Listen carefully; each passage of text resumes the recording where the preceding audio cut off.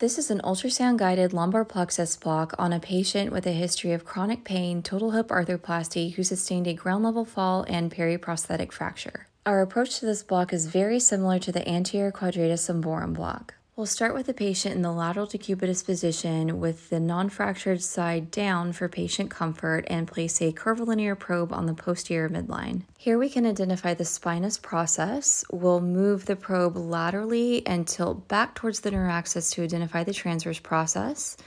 And here we see the quadratus lumborum muscle attaching to the transverse process with the psoas muscle more anteriorly just as we would with a anterior quadratus lumborum block, we're going to then fan our probe either cephalad or caudad to move the transverse process out of our needle trajectory. I personally rarely use nerve stimulation with ultrasound guided blocks. However, the lumbar plexus block is an exception to this because we're going to need nerve stim to identify the quadriceps twitch. We'll connect our block needle to the nerve stimulator, set the amplitude to about 1.5 milliamps, and advance in a posterior medial to anterior lateral direction. As we approach the lumbar plexus within the body of the psoas muscle, we'll begin to obtain twitches of the quadriceps muscle. Once twitches of the quadriceps muscle are seen, we'll lower the current somewhere between half a milliamp and 1 milliamp to obtain stimulation. The lumbar plexus travels through a fascial plane within the psoas muscle, and we can see this with our injection of local anesthetic.